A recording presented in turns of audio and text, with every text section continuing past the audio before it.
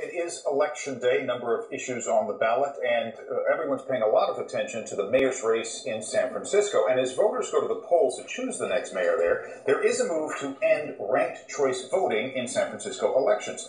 A resolution was introduced today calling for a return to the old fashioned runoff system. ABC 7's Vic Lee is live at City Hall tonight with the story. Vic?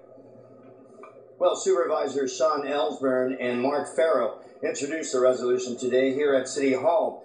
Ranked choice voting was approved by San Francisco voters more than eight years ago, and since then it's generated quite a bit of controversy and confusion. So today, we went down here to City Hall and asked voters here to tell us just how the system works. And here my wife tried to explain it to me, you know, one ear out the other. I'd have to be a physicist probably to tell you how it works. the person who gets the highest number one votes, the, the however many second choice of votes they get has a different and lower weight and so forth. So each of the categories of votes has a different weight. So many people don't understand how it works. Plain and simple. That's why Supervisor Mark Farrell is proposing a charter amendment to end ranked choice voting in the city.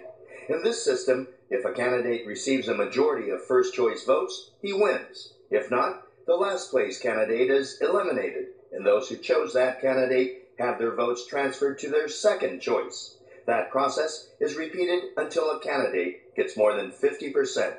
Farrell says last November's Oakland mayor's race is a perverse outcome of the voting system. Jean Quan ultimately beat presumed frontrunner State Senator Don Perata, even though he had a plurality with the most number one votes. When somebody is elected mayor with less than 25% of the first place votes, people really look at that and say something's wrong. This doesn't work. Proponents of the system argue that it gives voters more choices, saves taxpayer money because there's no runoff election, and elect someone who truly ends up with a majority of those who voted.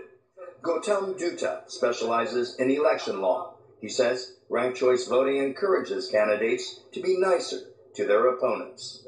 It forces candidates to focus more on the issues and focus more on reaching out to the broadest possible group of people. Farrell believes it's made no difference. Look at this year's mayor's race in San Francisco. Tell me there hasn't been negative campaigning. That's all it's been the last month.